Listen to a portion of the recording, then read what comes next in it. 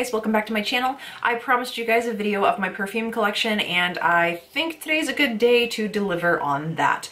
Um, I have a large fragrance collection, so there are going to be some stipulations before we even get started. I did just film my declutter of my Bath & Body Works slash all of my body sprays, and I will not be mentioning those in this video either because if you want to see what I kept, you can go watch that video. I will link it um, in the cards for you as well as in the description box. This is going to be strictly full-sized perfumes. Hold on for the ride, you guys. I hope you definitely take something from this and maybe discover a fragrance that you never thought you'd like. I really, really think that this is gonna be a really good video. So we're gonna dive right in. If you have not subscribed already, don't forget to jump down and subscribe before you leave. Also leave me a thumbs up if this kind of video is something that you wanna see more of. If you would like to see other parts of my collection, definitely let me know. All right, let's do this. Hold on, I gotta go grab a bunch to bring up here. So hold on, I'll be right back. This first one I'm going to butcher the name out of because I'm not French. So um, it is Prada Candy Leu, L-E-A-U. Anyway, this is one of the Prada candies. This one is a very lightly scented floral and it has a slight citrus in the middle you really pick up the warm caramel at the end though. I feel like this one isn't as floral as it is more of that like vanilla caramel scent. Um, it's not overpowering by any means. It's actually a very fresh, light perfume. It's not, it's one that's gonna get noticed, but it's not one that's gonna choke out the people around you, if that makes sense. It's a little bit more classy than um, the other candies. I feel like the other candies are very sweet. This one has more of a classier note to it. I would definitely say this is more of a nighttime scent than a everyday scent, but either way, it is really, really nice. This next Prada Candy is the Floral um, version of it. And this one is very sweet. It's very clean. It is very floral. Um, it does also have a little bit of citrus in it, a hint of citrus, but this one's really floral and I love it. Um, and this is more of like an everyday kind of playful, very innocent, um, dainty perfume. It's just a beautiful everyday kind of scent, especially in the spring. So there is Prada Candy Floral. Next we have Michael Kors in the 24 karat brilliant gold. Um, this is the packaging. It is stunning. And this one is again another floral, but this one has a very strong mandarin orange note. Oh my god. It is floral, it is mandarin orange, and there's a little bit of a woodiness at the very, very end. This lasts a very long time on the skin, and it is a very bold scent. Not, again, whether you're gonna choke everybody around you, but you're gonna smell it. You're gonna smell it on you, which is what I prefer. I don't wanna wear perfume that I can't smell. What's the point? This next one is by Tokyo Milk Dark, and this is the Tainted Love perfume. I just filmed a review on this one. So I'm going to avoid really giving you my thoughts on this perfume because I did do a full review on it. But I will tell you what the notes are. So this is a deeper perfume and the notes in this are dark vanilla bean, orchid, white tea, and sandalwood. So if you are somebody who likes floral, fresh, very light perfumes, this is not for you. This smells an awful lot like really good cigar tobacco. Go watch that video. I'll link it up in the cards right now. It's a short review, but it's a good review. The next perfume I have also talked about, and this is the Elizabeth & James Nirvana White. I do have a review on this in my splurge-worthy video, which I will link, you know the routine, up there. So I did do a full review on it. I love it. This top notes are peony. Um, it's a little bit musky it's like a dark, sophisticated, lasts a really, really long time. And like I said, go watch the video that I put up in the cards and check out the full review of this because this is an awesome perfume. This is the Marc Jacobs Mod Noir perfume. This one was an exclusive to Sephora, as you can tell by the colors. I have one in use and two backups because I love it that much. If you like the scent of gardenia, you need to get your hands on this perfume. It is so strong in the gardenia department. It'll satisfy every bit of your need for that scent. This is such a fresh, clean, springy scent it's gorgeous. It's a strong scent, so you'll definitely have it noticed, but it's not strong, again, where it's gonna like, you know, make people cough or anything like that. I have gotten more compliments on this perfume than any other Marc Jacobs perfume. We're gonna stick with Marc Jacobs for another minute, and this is Marc Jacobs Decadence. Now, this packaging, I've talked about this one before. I think this was in my December favorites, um, which guess what? It's gonna be linked up there. Um, this is Marc Jacobs Decadence. The packaging, Marc Jacobs can do no wrong with packaging, I swear. This is a very, very, very, very deep, strong, sweet, heavy scent. In that aspect, I don't mind it because this is more of like my date night or night out or special occasion perfume. This definitely would never be my daily wearer. It's too heavy. But that being said, it's very sexy. Taking a sniff, taking a smell. Neither one of those sounds cute, but you know what I'm talking about. Use your sniffer. Check it out at Sephora. Yes. This next one is by Bulgari, and this is the Omnia Crystalline. And this one is very different from a lot of other scents that I have. Um, this one is very bold and vibrant, and this is a really good perfume for just every day. And not many of these I've said so far that you can wear them every day normally. This is really truly like a work appropriate, everyday kind of casual scent. And the packaging's awesome. I mean, come on, that's like the coolest packaging ever. This next perfume is my new obsession. And I was gonna keep it a secret because I ha- everybody needs to have a beauty secret, like their own little thing that not many people talk about. When people hear of Lancome fragrance, they think, oh, La est Belle. They don't realize that Lancome has a lot of fragrance, and this one is one of the least I've never ever seen anyone talk about it. Lancome lady who happens to be a friend of mine, and she told me when I asked her about this one, she said, you know, that is one of the best smelling perfumes that we offer, but everybody's so focused on the La est Belle Nobody pays attention to it. This has the strongest orange blossom scent. If there's any other scent in here, I'd be shocked because it's so strong of that beautiful, warm, seductive, just summertime orange blossom. If you have a Lancome counter, because I don't know if you can get this at Sephora, I doubt it. Eau de l'Orangerie. Yeah, Eau de l'Orangerie. Let's see how many times I can say it, Shai. Um, bottle's gorgeous. I mean, absolutely gorgeous. It's a light green. They have three different bottles like this, but they're different scents. This one is the orange scent. Just tell them that. This has been my secret. When people ask me what I'm wearing, this is usually what it is. Eau de l'Orangerie. Almost 10 years, actually. Almost 10 years I've loved this perfume. This is by Elizabeth Taylor, and this is the Brilliant White Diamonds. It comes in a frosted white container and it has like rhinestones around the rim and then a silver cap. Very, very difficult to find in stores. I order mine off Amazon because you can't find it really anywhere else. But this is my favorite of all of them. It smells nothing like the rest of the... This one smells so fresh and like it's very, very, not tart, but crisp. It's very crisp. It almost smells like when you go into a very high-end salon and you smell all the shampoos going and all the treatments going and it gives you that really spa-like scent, that's this. You barely need anything and it smells on you all day. Again, I get lots of compliments. I get chased down to ask what I'm wearing and it's beautiful. So Elizabeth Taylor, Brilliant White Diamonds. Another one of my absolute favorites, and this was actually a Christmas gift this year from Nick. I was shocked that he picked this one out because I love this one. This is YSL Mon Paris. And yes, I know, this is the big Mama Jamma, the biggest size you can get. That poor man, I hate to think what he was thinking as they rung him up and he saw the price that is on a YSL perfume in this size, but I'm happy because I love it. Very, very beautiful. Um, it, it is slightly on the herbally side because of that patchouli. That you can definitely smell the patchouli but mixed with those white florals and then the berries, it just has a beautiful gradient of scent. Very long lasting, it's very sensual, very sexy, um, and very feminine. It is an intoxicating scent. So if you have not tested this out, same thing, I'm gonna say it again, go get a sample from Sephora and test it out. And this is by Mary Kay, and this is in the scent Dance to Life. And this one I did talk about in a favorites video, I believe, and when I find it or figure it out, I'll link it in the description box below. I will put the names of these perfumes in the description box with the correlating video link so you can watch a review or whatever. So I'm not gonna talk too much about this other than I will say it is a beautiful floral, very everyday kind of wear. I very much enjoy this. I had no clue Mary Kay even made fragrances. Somebody gave this to me and I love it.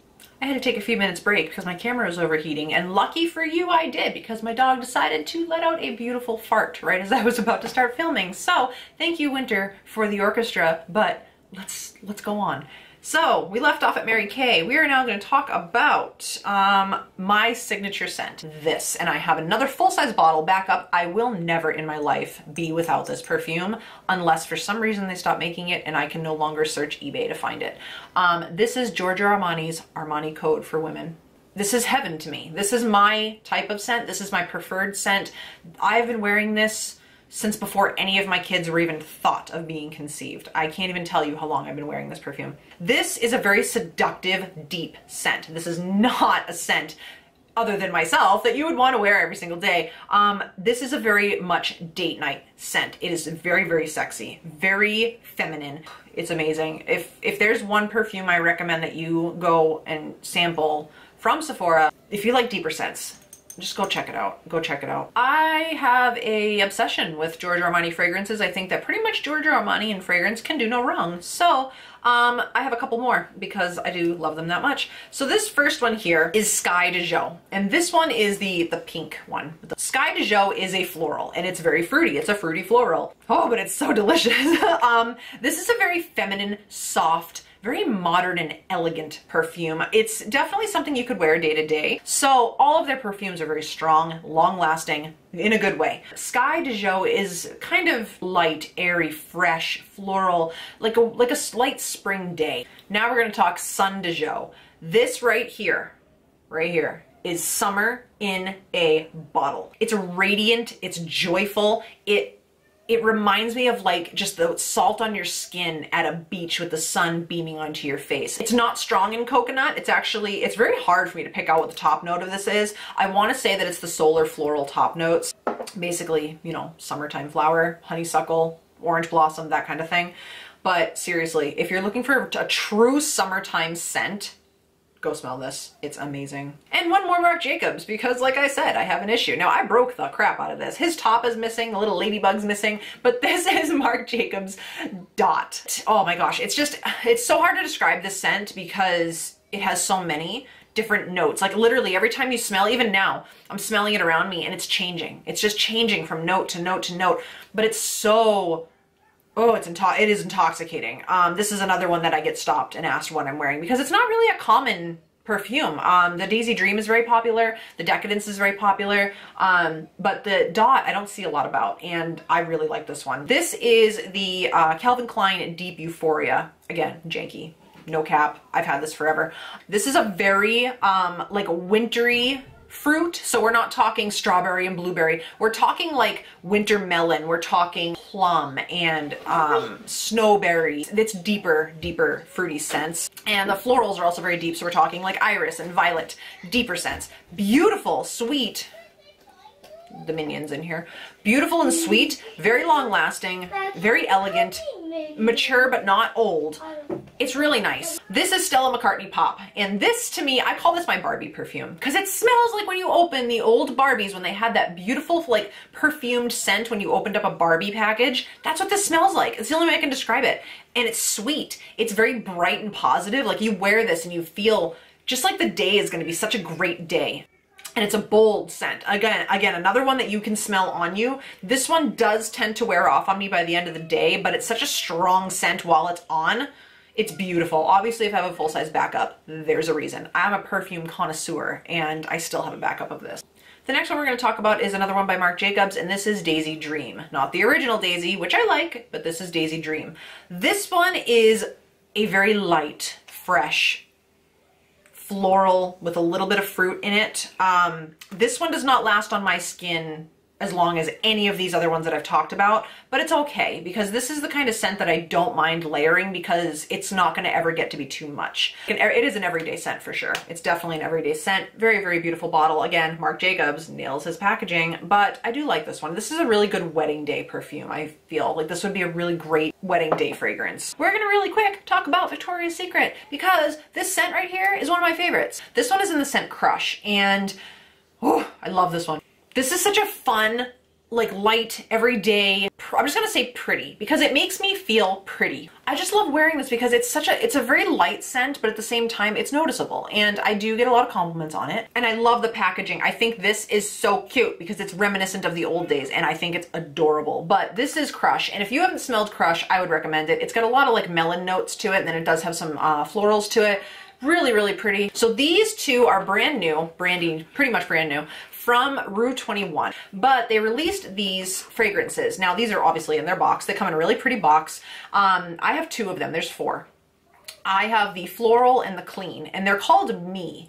Um, and basically what they are is they're layering perfumes. Think around the lines of like the perfume brand Clean, Clean Skin, Clean this, Clean that, where you can layer and create your own. That's kind of what these are like. So you open up these boxes, and They inside will tell you what the notes are and you know, correlates and all that stuff. So the bottles look like this. You get a decent amount of product in the bottles. I mean, that's two ounces. They are completely cruelty free and vegan and they're 90% natural, which is awesome. And the scents are gorgeous. And I do wear these on their own sometimes, but more often than not, when I do wear them, I wear one spritz of each together.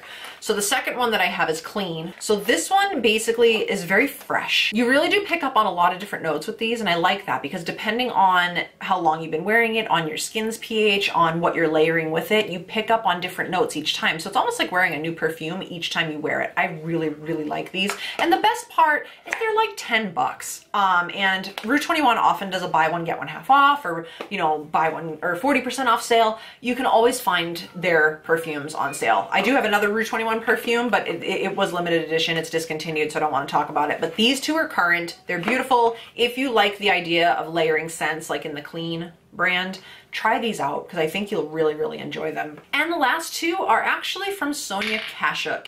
Purple Seductia and Red Prometia.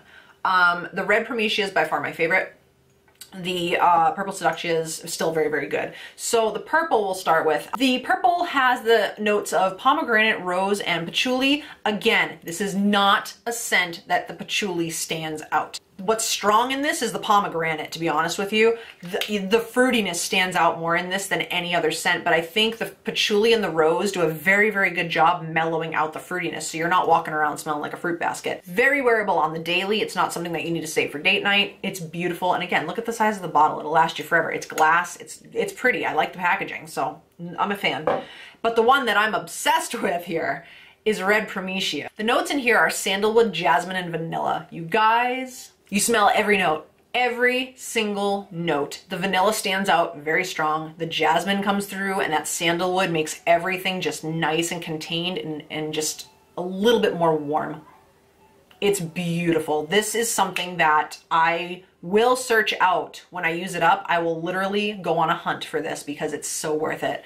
So you guys, that is it. I really hope that this format of showing you my perfume collection was enjoyable for you.